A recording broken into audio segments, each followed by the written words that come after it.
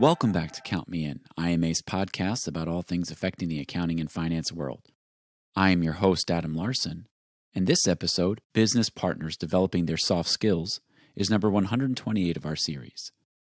Laura Boyd, Vice President, Corporate Controller at Hunter Douglas, joins us to talk about a topic not addressed enough among accounting professionals the softer skills required in the profession.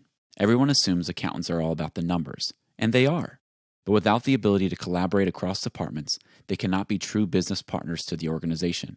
Keep listening to hear about the specific soft skills required and how to develop them throughout your career.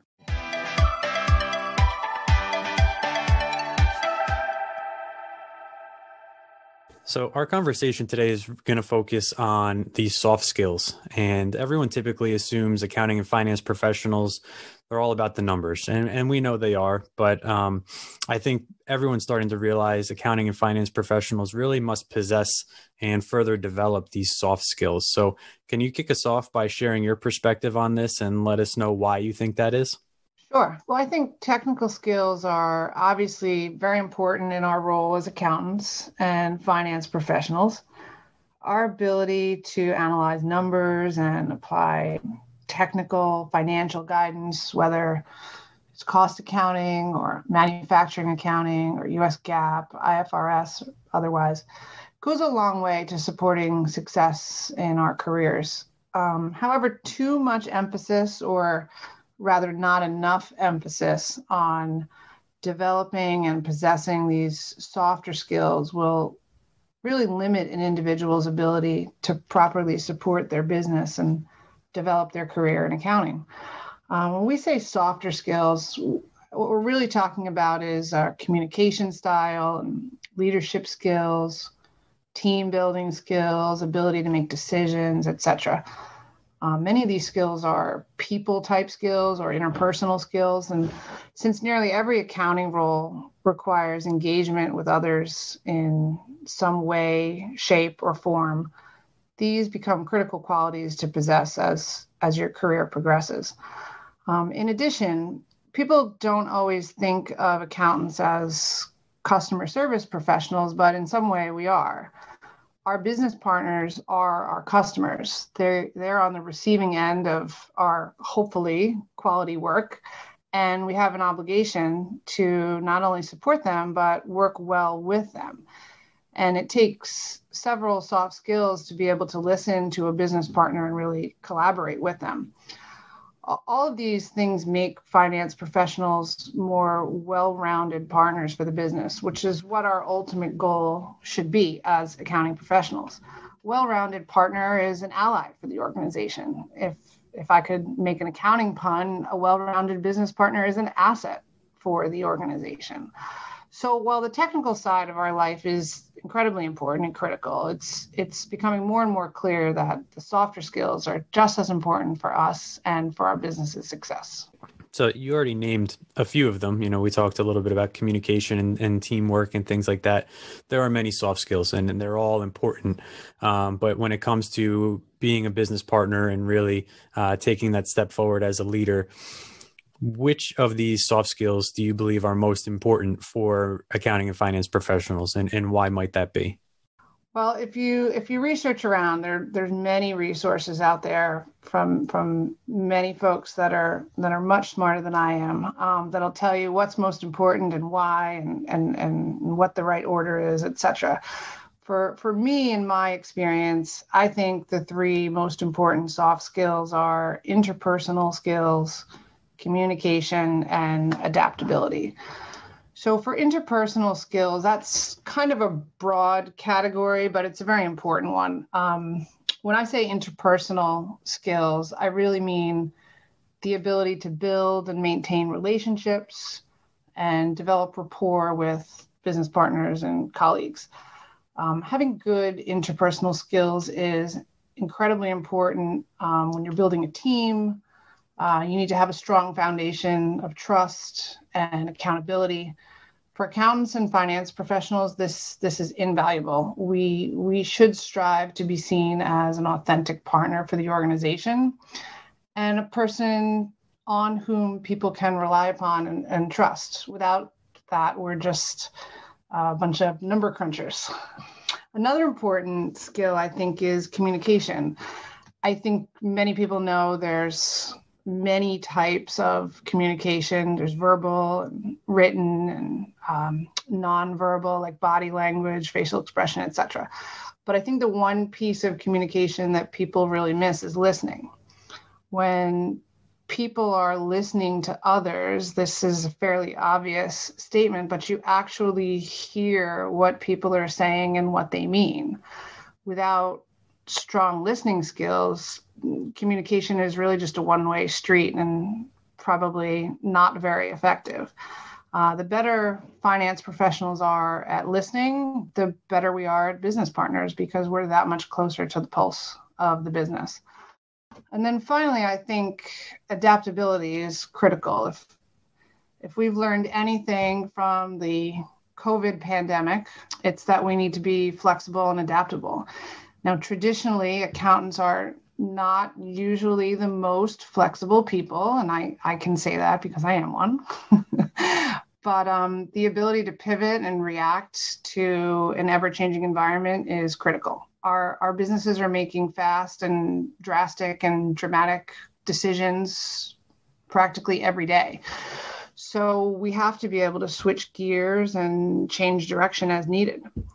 In addition, I think it's important to be able to handle tasks and responsibilities that are a little outside the norm by demonstrating a, a willingness to, to get involved, even if you don't have all the expertise that's required it's a changing world, and I think accountants are a, a, smart group of people who can contribute beyond the numbers if they're willing.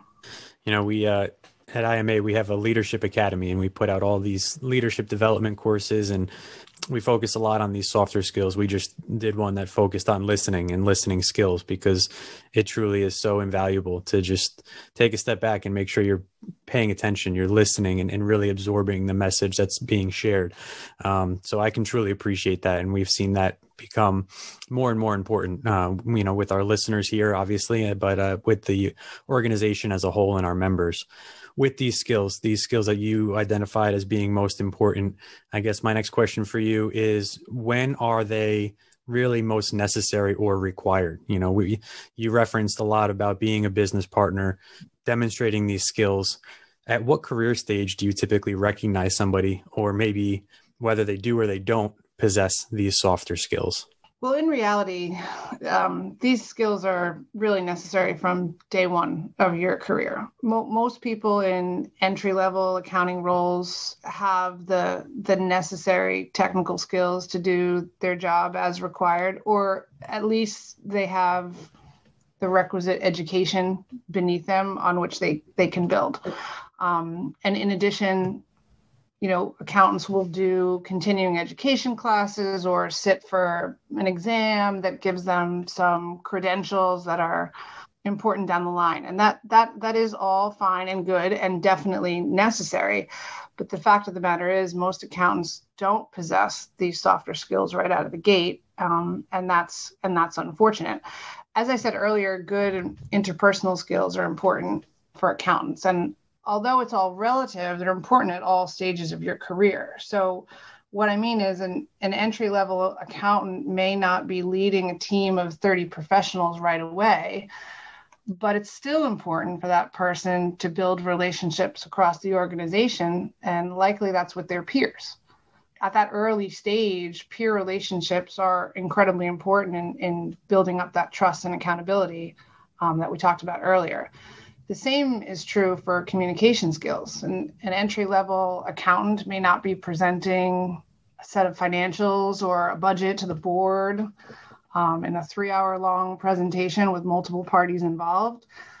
But the person is still emailing with others on a regular basis, and that's a form of communication. Or they're on Zoom calls, like like we all are these days, um, on a regular basis, and that's a form of communication. So the stakes may be slightly lower on a Zoom call than in the boardroom, but being an effective and quality communicator is equally important in both scenarios. Fact of the matter is, is that as your career progresses, these soft skills become more and more important. At, at a certain point, everyone is good at the technical side. Everyone is a smart accountant. But what differentiates you from your colleagues is really your ability to navigate the softer side. If you're both cost accounting experts, but one person has great leadership skills and problem solving skills and they're a little more honed than the others, then well, that person's going to shine a little brighter. Um, so I think that accountants really should strive to develop and possess these skills as soon as possible. I think um, a good manager can recognize pretty early on when someone is adept at certain skills, or on the flip side, maybe when someone is lacking in a particular area. As a manager, if you have the right critical eye, you can pick up on some of these subtleties fairly easily because situations present themselves all the time. You also know which of your team members is coachable or not. So, even though someone may be lacking a soft skill that you, the manager, think is critical, you should be able to tell if they're coachable in that particular area or not. Now, from a manager perspective, I suppose, or you know, you, you were mentioning maybe you're overseeing a number of professionals, but equally so, maybe you are somebody who's just looking to work their way up and develop these skills. To get this message the importance of these softer skills across your team, across the organization. How do you recommend going about developing them? You know, what are some resources or best practices uh, that you're aware of? Or, you know, what do you typically suggest to people who are interested or you believe need to develop these softer skills? Well, first and foremost, I think you have to take an actor, active interest in your own development. You should ask for feedback from your manager, from your peers, from your team, from your business partners, anyone who knows you well and is willing to give you feedback. Um, you need to listen to that feedback with an open mind, as you'll likely learn how you're perceived in some areas that you can use development. The next step in my mind would be to seek out appropriate training for those needs that you've you've learned about or identified there's numerous resources out there that provide support and education in all aspects of soft skill development whether it's leadership training or presentation skills you know going back to our communication comments from earlier um, the world is ripe with with possibilities and in, in advancing your skills. So so some external training I think would be incredibly helpful. Um, in addition, I personally have found that having a, a mentor or a role model um, has been incredibly helpful in my career. If you seek out someone or several someones that you admire and aspire to be like, you pay careful attention to how they conduct themselves in various situations, that can be incredibly helpful. And then I think the last thing sort of relates to the first one um, in taking an active interest that you should ask for more opportunities at your place of work. Um, you should ask to participate in a presentation to senior members uh, of the business or, or ask to run a presentation. Ask to manage a team so you can develop some of those leadership skills you should volunteer for an assignment that no one else wants to be part of to uh, to demonstrate some of the problem solving skills. Basically i think you know it's on it's on you to take some ownership of your own development whether it's asking for the feedback or seeking out the training or looking for the mentor or asking for opportunities at work. I think um, there's a lot of opportunities at your fingertips and you need to go after them this has been Count Me In, IMA's podcast, providing you with the latest perspectives of thought leaders from the accounting and finance profession. If you like what you heard and you'd like to be counted in for more relevant accounting and finance education, visit IMA's website at www.imanet.org.